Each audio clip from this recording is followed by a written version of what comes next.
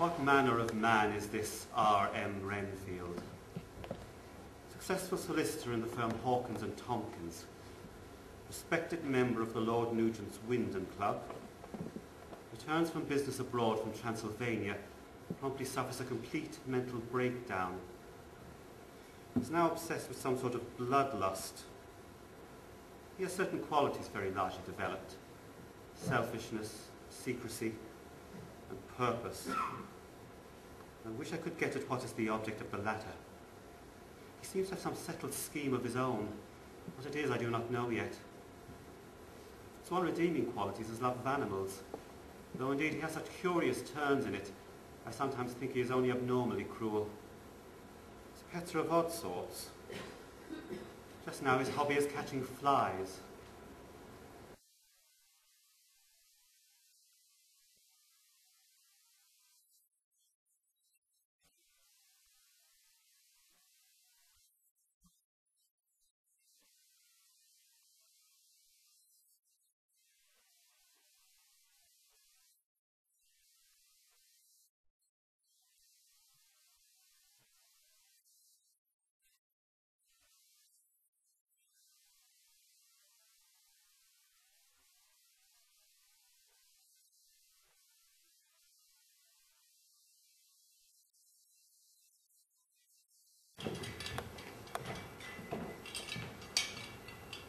Do you care for an hors d'oeuvre, Dr. Seward, or a canapé, perhaps? No, thank you, Mr. Renfield. How are you feeling tonight? A lot better than you, my lovesick doctor. Is my personal life of interest to you? Of course it is. All life is of interest to me. Your diet, Mr. Renfield, is disgusting. Actually, they're perfectly nutritious. Each life I ingest gives more life to me. Fly gives you life. Certainly. May as well ask man to eat molecules with a pair of chopsticks and to interest me in the lesser carnivore. I shall have to invent a new classification of lunatic for you. What about spiders? Spiders eat flies. Yes? Spiders eat them? What about sparrows? Oh, yes. Did you say sparrows? Something larger, perhaps. Oh, yes. A kitten. A playful kitten. Something I could teach, something I could feed. No one would refuse me a kitten. What about a cat? Oh, yes. A cat. A big cat. My salvation depends upon it. Your salvation. I need lives, you see. Lives for the master. Master, what master? Master is coming. He has promised to make me immortal. How?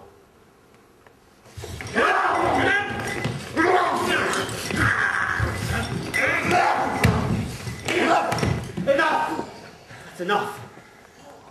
I told you before we are not to use violence against our patients. Even when they use violence against us. That is what makes the difference between them and us, Mr. He Withers. attacked Dr. Seward. Yeah, look, he's drawn blood. He appears calm enough now. Don't let that fool you, Dr. Seward. There's murder in his heart, sure enough. Cut out our throats if he could. Renfield? Renfield, what are you doing? Life is blood, blood is life. Oh God, he's licking the blood off his fingers. He's an animal, that's what he is. No, he's not, Mr. Bennett. He's all too human. And that's the tragedy of it. You two can go now. I'll stay with him for a while. You be careful, Dr. Seward. This storm's got more wound up. He's drawn blood, and given the chance, he's likely to do it again. I'll take care. We won't be far if you need us.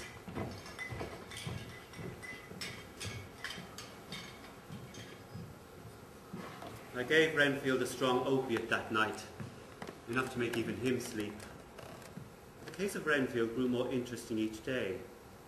He requested sugar to lay in small piles about his cell, which he used to attract flies, and a small box in which to keep them. I saw no reason to deny his request. Indeed, I was quite eager to allow it, in order that I should observe it and see in what direction it might lead.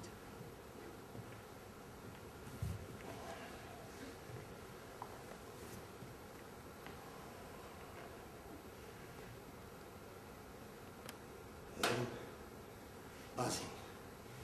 Buzzing. That fly is filled with life. The box is full. They can take no more. What will you do with them? You wait and see. Hold this. Don't let them out.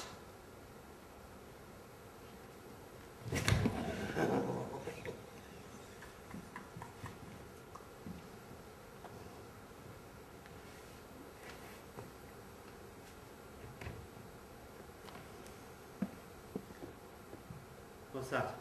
Another fly? Ah, there's some flies I want now. It's spiders. I have a spider. They should feast well and grow so fat. You see? Needless to say, I did not. But daily I observed him gripped in the mania of each new obsession, as eager as he was to follow it through to its ultimate end. Life is blood and blood is life. What's that you say? Life is blood and blood is life. Spiders eat flies and birds eat spiders. And here's a whole box full. A box full of fat spiders for the bird to feast on. They shall grow so fat. So fat of blood and life. So at last I began to glimpse some reason and progression in his mania. From spiders he moved on to birds, capturing several sparrows while outside exercising in the yard, which he then took back to his cell. And a right mess they've made of it as well. Filth and droppings everywhere. You sure it's healthy to let him keep them in here, Dr. Seward? I'm sure it won't last much longer, Mr. Bennett. I've been observing each new obsession of his. It Oh my god! You animal! You filthy, stinking animal! What is it, Mr. Bennett? What's wrong? Him! That's what's wrong. You see what he's doing? He's just eating one of them blessed birds. Didn't even kill it. He's just stuffed it into his mouth and he's eating it alive and raw. No harm, eh, Dr. Seward? You ask me there's nothing but harm in this one. He's a creature full of harm and wickedness if I've seen it in any living soul. Best get this place cleared of these birds, Dr. Seward. If you don't, you'd soon have it cleared for us.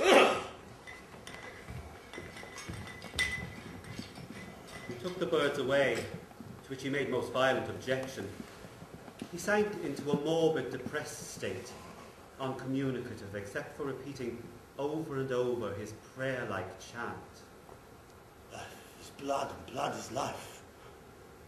Life is blood and blood is life. Life is blood and blood is life.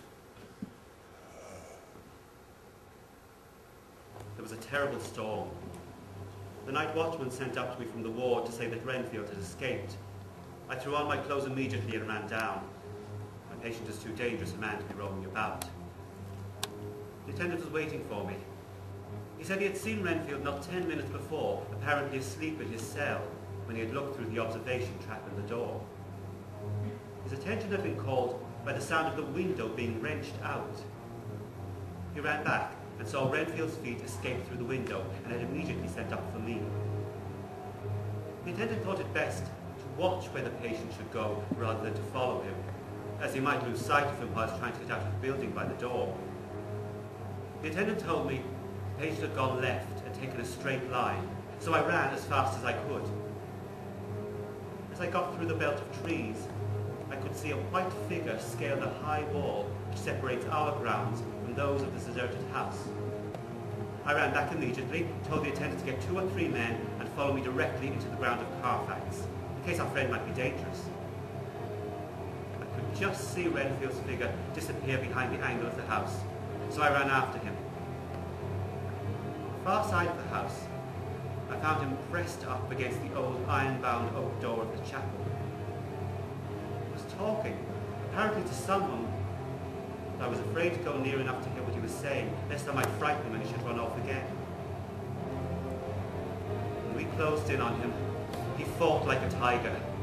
He is immensely strong, more like a wild beast than a man. I never saw a lunatic in such a paroxysm of rage before. I hope I shall not again.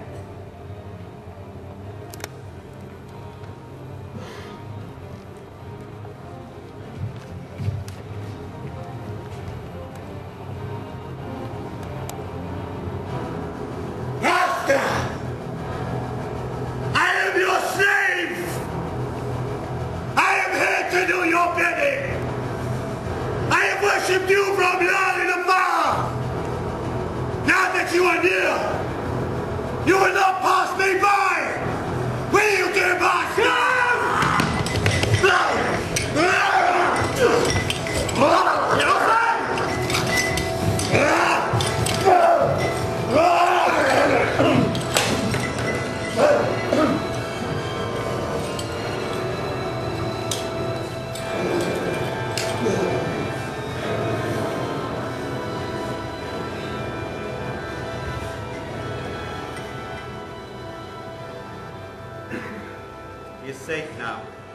The manacles keep him restrained, and he's chained to the bars of his cell.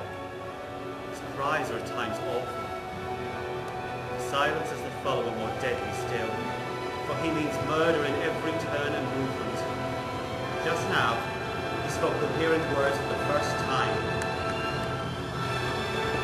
It is coming! Coming! Coming!